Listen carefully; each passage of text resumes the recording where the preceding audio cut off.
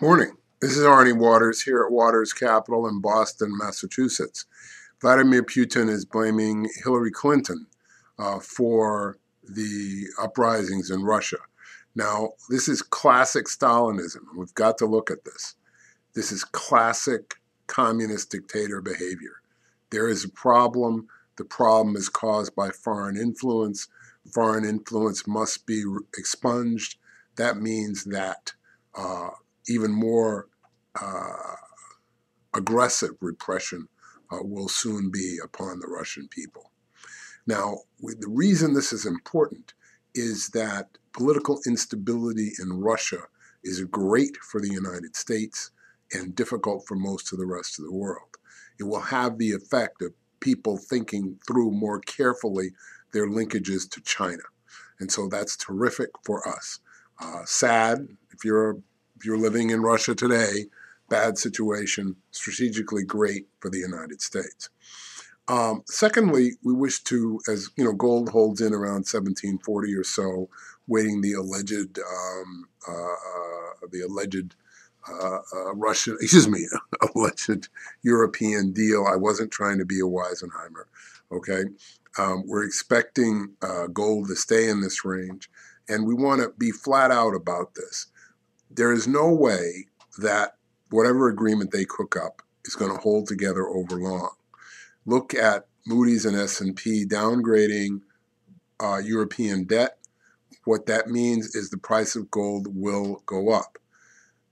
Regrettably, it also means as the European zone fails again to solve its own collective problems, that we, this will lead directly even though it has nothing to do with the United States. It will be uh, the, the, uh, the, match in the tinderbox uh, that leads to a 15 to 20 percent decline in the S&P and corresponding declines in the Dow. So we're letting everybody know that we expect there to be over the next six to eight weeks a 15 to 20 percent decline in the S&P and the Dow. Now, we also want to discuss today Pearl Harbor. Of course, the anniversary of Pearl Harbor was yesterday, and we're indebted to Mr. Kozak of the Wall Street Journal for uh, talking about Pearl Harbor in a little more detail than sometimes we Americans are comfortable with. Uh, we had uh, intercepted the Japanese codes. We knew about the threat. We didn't believe it. We absolutely did not believe that the Japanese, who we had their penetrated their codes, and we did not believe that they were willing, they were going to attack us. Um, and there was some discussion about people not being aware of the time difference between Hawaii and Washington. But my general point here is that we have enemies in the world like Iran and North Korea. I'm not even going to, you know, renegade Pakistani military groups or uh, any of that stuff. I'm sticking with fundamental strategic enemies like Iran and North Korea. I wonder if we're setting ourselves up for another Pearl Harbor because we simply refuse to believe how crazy these people are. And uh, we believe that, you know, in the rule of law, we believe in this and that, we believe in the United Nations. You know, we can't understand how anybody, what would be the value, et cetera, et cetera. Why would anybody attack Israel? That makes no sense. We have to remember that, in fact, people are quite capable of behaving in ways that make absolutely no sense to us.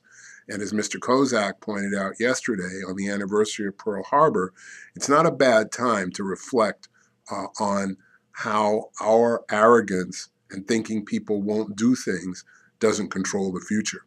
So this is Arnie Waters.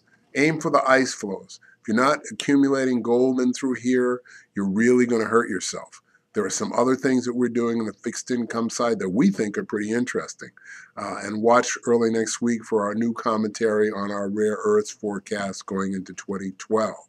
Aim for the ice floes, understand what's going on, and you can make a lot of money in through here.